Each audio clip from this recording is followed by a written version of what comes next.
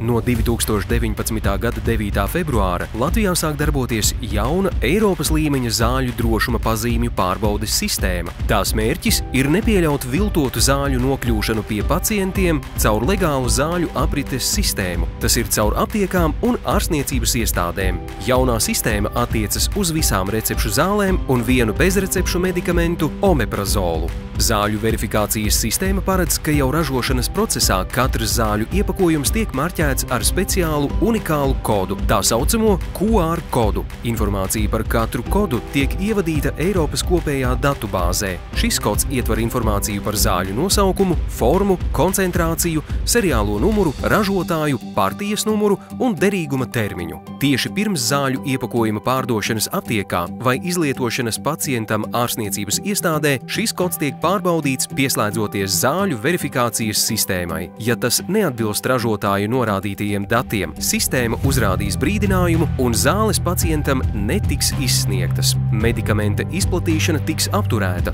Jaunā zāļu pārbaudes sistēma izveidota, lai maksimāli garantētu pacientiem drošas zāles. Tādēļ zāļu iepakojuma unikālā koda pārbaude, jeb verifikācija un dzēšana tiek veikta maksimāli tuvu gala patērētājam. Sistēmas ieviešanā ir paredzēts arī pārejas periods, lai netiktu apdraudēta zāļu pieejamība pacientiem. Visas zāles, kas ir saražotas līdz 8. februārim, drīkst bez speciālās pārbaudes tirgot līdz to derīguma termiņa beigām. Jaunā zāļu drošuma pārbaudes sistēma ir izveidota ar Eiropas Savienības regulējumu vienlaikus 32 Eiropas ekonomiskās zonas valstīs, jo pēdējo gadu laikā Eiropā tiek atklāti arvien jauni gadījumi, kad pacienti caur legālām zāļu piegādes ķēdēm saņem viltotas zāles. Latvijā sistēmu ievieš un uztur Latvijas zāļu verifikācijas organizācija.